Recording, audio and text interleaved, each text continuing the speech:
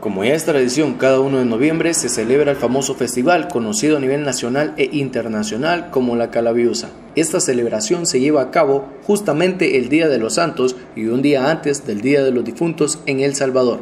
En esta actividad cultural participaron muchos jóvenes y niños, los cuales usaron su creatividad y se la ingeniaron para hacer la mejor carreta las cuales cruzaron algunas calles principales de dicho municipio. La verdad que tenemos tres meses, tenemos tres meses de estar preparando eh, este proyecto con los jóvenes. Eh, tenemos 16 carretas chillonas que están participando, entre ellas para niños, adultos y, mayores también que están participando.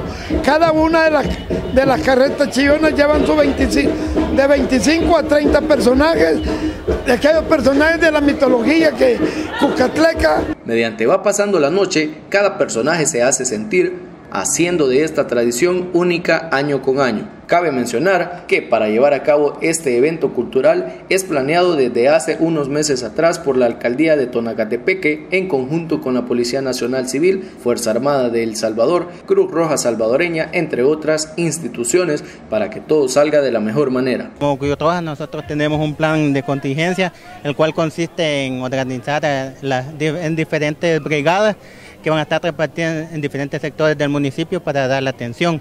Aparte de eso, hemos hecho una coordinación, como somos una institución que, está, que forma parte de la Comisión de Protección Civil del municipio, tenemos una coordinación con todas las instituciones para solventar cualquier incidente. A este evento se presume que asistieron un poco más de 15 mil personas, entre nacionales y extranjeros. Con imágenes de Diego Serrano para RTV Noticias, informó Natanael Vargas.